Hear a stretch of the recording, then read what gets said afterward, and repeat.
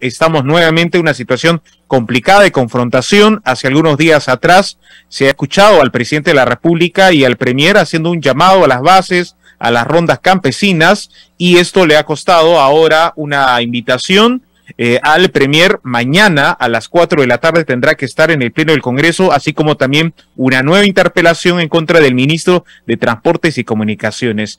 Algo ha cambiado después de este último 28 de julio, se agudiza aún más la confrontación. Bienvenido, lo escuchamos. Buenas tardes, Richard. Muchas muchas gracias por su invitación. Justo estar en su programa. Eh, yo creo que sí, en los últimos días, eh, digamos, eh, el, presidente enfrenta la, acción de, la justicia, hay un cerco, digamos, sobre él, son ya seis las investigaciones penales que, eh, que tiene, recordemos que es el primer presidente en ejercicio que es investigado por hechos eh, ocurridos durante su mandato, este, este digamos, breve año que acaba de, transcurrir, y, lo que estamos viendo es además, los resultados de la detención del señor Pacheco, su ex secretario general de Palacio, y la búsqueda por la policía eh, del ex ministro Silva.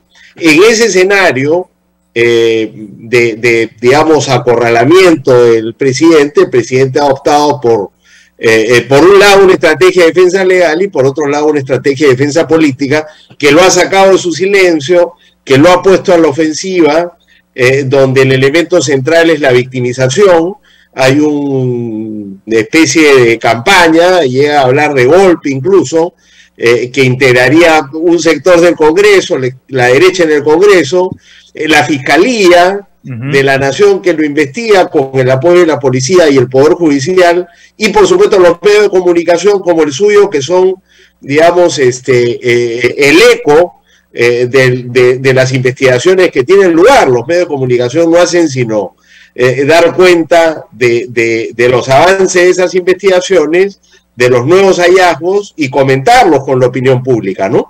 Entonces, eh, no hay en realidad un golpe de Estado en marcha, como se ha dicho, ni, ni una campaña mediática para sacarlo de cualquier manera del Palacio de Gobierno. Lo que hay es un avance claro de investigaciones eh, que dan cuenta del involucramiento del presidente en, graves hechos de corrupción. Pero esto, ¿cuánto más le durará al presidente de la República? Porque lo hemos visto en los últimos días teniendo mucha actividad ahí en Palacio de Gobierno, sí, pero reunidos con bases sociales, con grupos de ronderos o con quienes no tenemos nada en contra, pero hemos visto una suerte de, de populismo, de una suerte de portátil, para aparentemente empoderar más aún al presidente de la República, pero eso es algo que espontáneo, es algo que se arma, es parte de una estructura, eso durará, no sé qué análisis usted tiene en este tema.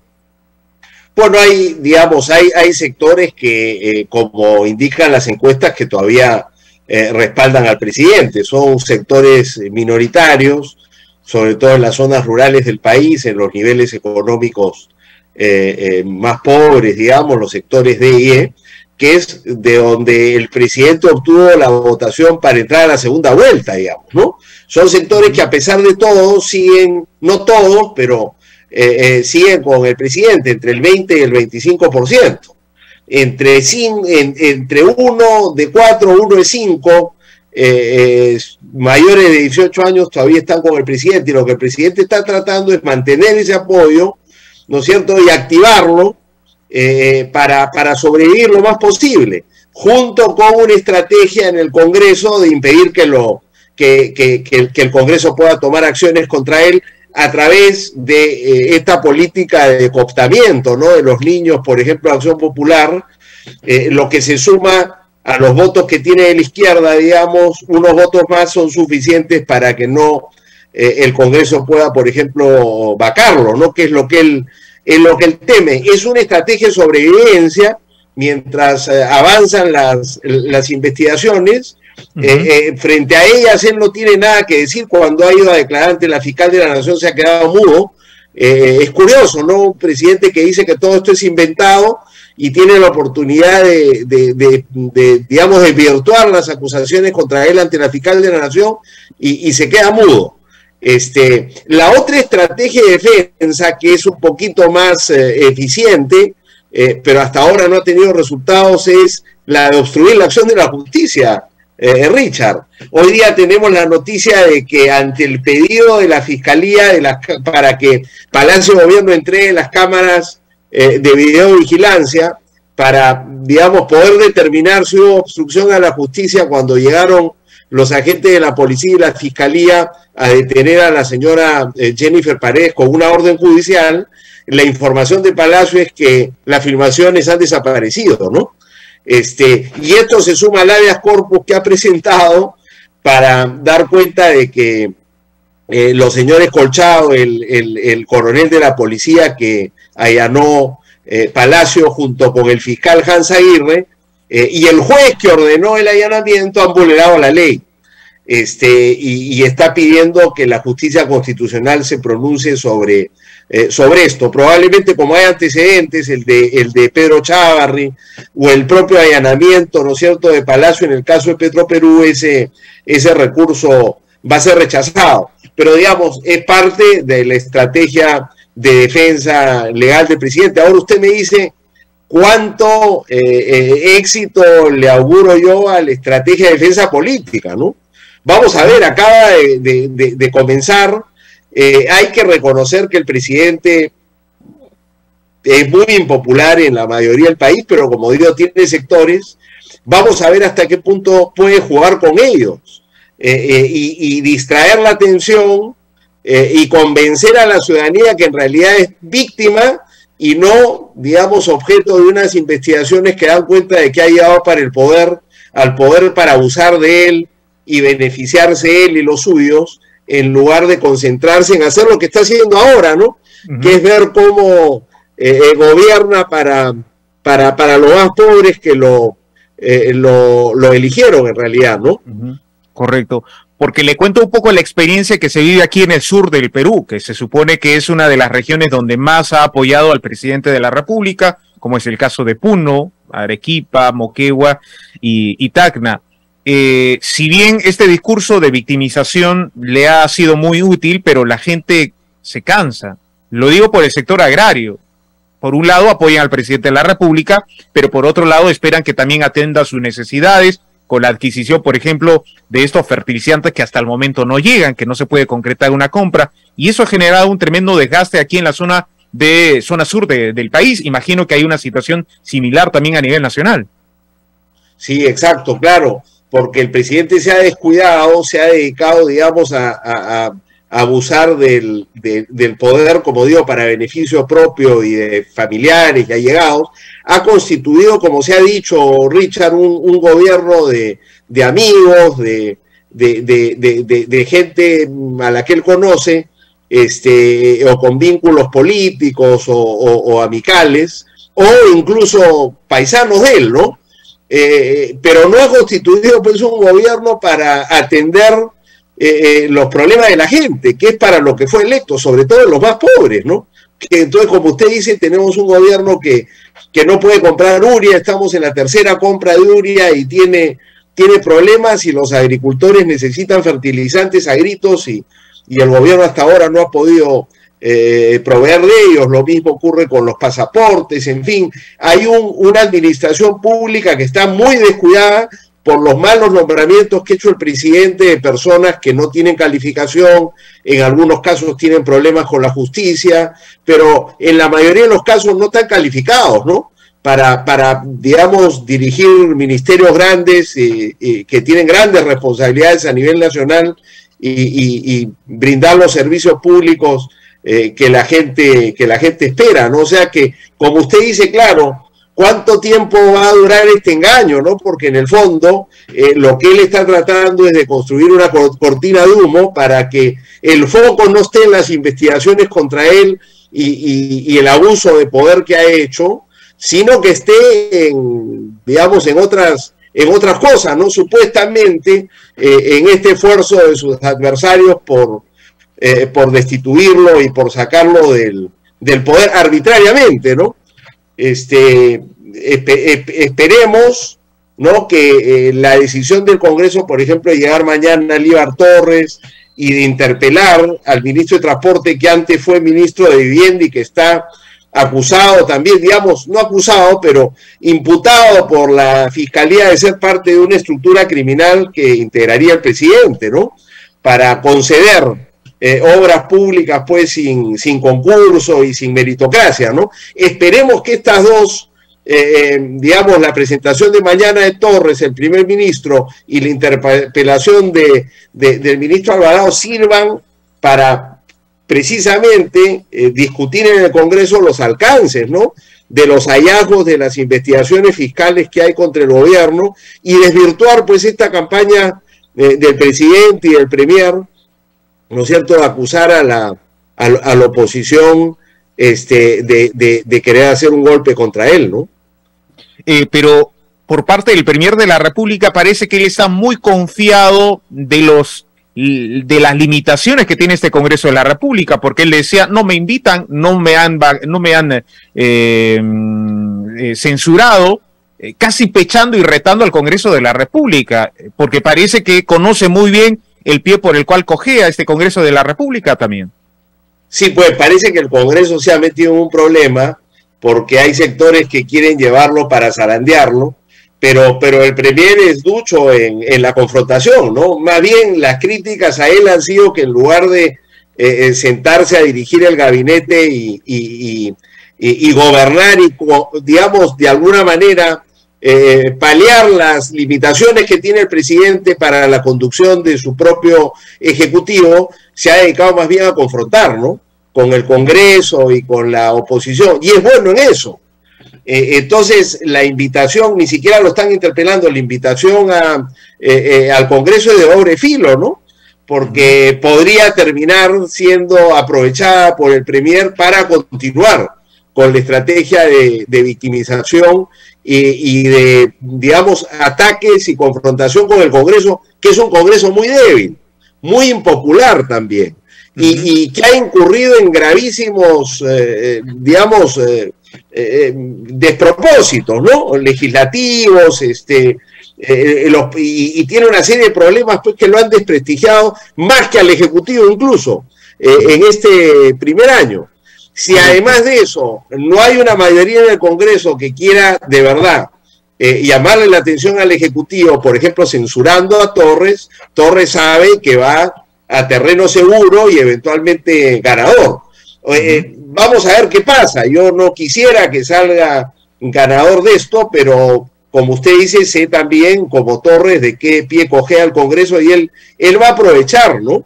También para pechar y para confrontar, como ya ha empezado eh, a hacerlo. Yo creo que, que, que, digamos, el Congreso en general tiene una buena oportunidad, sobre todo la oposición al gobierno, de, presentar ante la opinión pública, ¿no es cierto?, los alcances de las investigaciones y desvirtuar esta supuesta eh, eh, campaña contra, contra el Ejecutivo, ¿no? Ojalá que la aproveche y lo mismo con, con Alvarado, pero está por verse, digamos, porque, como hemos dicho, acá tenemos una, una crisis política donde eh, el problema no es solo el Ejecutivo, sino es también el Congreso, ¿no? Por eso lo más sano sería que se pueda concertar una salida política acordada, por supuesto, y negociada políticamente para, para, para un adelanto de elecciones, no solo a la presidencia, sino al Congreso también. Y en esa línea justamente del adelanto de las elecciones, hay proyectos que han sido presentados en el Congreso de la República, pero parece que no han sido priorizados porque hoy escuchaba al eh, congresista Hernando Guerra y decía de que se han priorizado ya los temas en la Comisión de, de, Constitución, pero uno revisa la lista y no está estos proyectos que buscan modificar esos artículos que permiten el adelanto de elecciones. Para ello, creo que tampoco está en el interés de ellos de poder adelantar, no se quieren ir y tampoco se quieren ir junto con el presidente de la República. Ah, así es, así es. Eh, en el caso, por ejemplo, de Susel Paredes, eh, ella ha presentado un proyecto y ha dicho que quiere que se acumule al proyecto de, de la congresista Ina Calle, que son dos proyectos para adelanto de elecciones, eh, pero en efecto están siendo postergados por, por Guerra García de Fuerza Popular, que es curioso, ¿no? El caso de, de, Guerra García, porque Keiko Fujimori ya ha declarado en un par de oportunidades que, que lo más eh, sano sería, pues, este, en efecto, ¿no? un adelanto de elecciones para el Congreso y para la, la presidencia de la República. Y otros líderes también, Acuña ha dicho lo mismo, este, bueno, Francisco Sagasti, que, que, ha declarado sobre el tema, creo que fue quien lanzó una primera iniciativa en este sentido.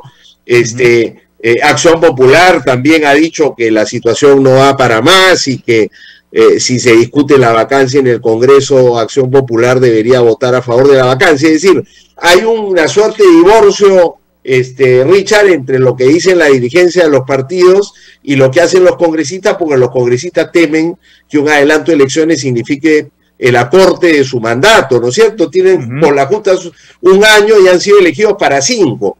Entonces ahí lo que hay que es tener en cuenta la experiencia en 2000 donde se acortó el mandato incluso antes de que terminara el primer año y ahí se adoptaron algunas medidas como eh, eh, ofrecer algunos incentivos, ¿no? para que eh, los congresistas pudieran, digamos, pudieran eh, votar por el adelanto de elecciones, ¿no? Creo que eso es algo que en su momento tendrá que ser discutido, ¿no? Correcto. Algo final, y es algo que usted mencionó, y en apelo a su experiencia como ministro del Interior, ante esta noticia de la pérdida del contenido de cámaras en Palacio de Gobierno y el informe que se le ha remitido al jefe de la Casa Militar, el ministro del Interior, el actual ministro del Interior, debería responder por eso? ¿Alcanza responsabilidad el ministro del Interior? Mm, ahí me agarra, Richard, no, no, no sabría eh, decirte, creo que no, porque Palacio de Gobierno es, eh, digamos, eh, competencia de la presidencia de la República, el presidente no es responsable políticamente, de manera que me imagino que la, la autoridad política que tendría que responder eh, si no es el presidente de la República, es el presidente del Consejo de Ministros, ¿no? Eh, las oficinas de la PCM también están en Palacio. Entonces yo creo que la autoridad eh, política responsable ante una situación así, imagino que tendría que ser el PCM más que el ministro de, del Interior, pero no es algo que haya estudiado Richard, eh, eh, habrá que ver porque esto es grave. Acuérdate que una de las seis investigaciones contra el presidente está referida precisamente a la obstrucción de la justicia, ¿no? El conjunto de decisiones que ha ido tomando para impedir que se le investigue. ¿Te acuerdas que removió a, al ministro del Interior, Mariano González, porque armó este equipo para dar con Pacheco y con, con, Silva y al presidente no le gustó? Después le pidió a la, eh, a través del ministro del Interior a la eh, fiscal de la Nación que removieran algunos de los integrantes del equipo especial de la policía eh, eh, que está interrogando a Pacheco y que está buscando a Silva. Y, ahora, digamos, las dificultades para que entraran a Palacio, el habeas corpus que ha presentado para que se declare nula la resolución que permitió el allanamiento de Palacio, y ahora la desaparición ¿no es cierto?, de las filmaciones precisamente sobre ese allanamiento que darían cuenta de, hechos de obstrucción a la justicia, ¿no? De manera que a medida que pase el tiempo, el presidente va sumando, ¿no? Eh, eh, nuevos elementos que lo complican más en un intento de eh, impedir que la justicia haga su trabajo en relación con las acusaciones por corrupción que pesan sobre él correcto. Un tema final que eh, olvidaba eh, y para conocer su, opinión como político. Eh, Perú Libre está presentando un proyecto para que los medios de comunicación puedan conceder espacios gratuitos a las autoridades. ¿Qué opina acerca de eso? Es decir, que, las autoridades tengan justamente espacios gratuitos en los medios de comunicación. No hablamos en los medios del Estado, ¿no? Como Canal 7, sino en los medios de comunicación. ¿Qué opina acerca de ese proyecto de ley? Mira, esa es una tarea que los medios eh, cumplen regularmente, ¿no? O sea, eh, los espacios políticos en los medios que son numerosos eh, en todo el país, normalmente están al servicio de conocer la opinión de las autoridades y exigir explicaciones por parte de las autoridades sobre la labor que, que cumplen, de manera que me parece que esos espacios existen. Esto de darle en lo, a los medios eh, espacio para que las autoridades, este, eh, adicionalmente, ¿no? Para que las autoridades digan su verdad, serían espacios en los cuales las autoridades no están sometidas al control de la prensa, ¿no? Este, y, bueno, la razón de ser de la prensa es precisamente que existan esos espacios, pero a través del cuestionamiento que los propios periodistas como representantes de la ciudadanía hacen a esas autoridades. ¿no? Me parece que una medida de esa, de esa naturaleza no se condice con, las normas sobre libertad de expresión y, prensa que tenemos vigentes y que eh, eh, no, no, no sería no, sería procedente, ¿no?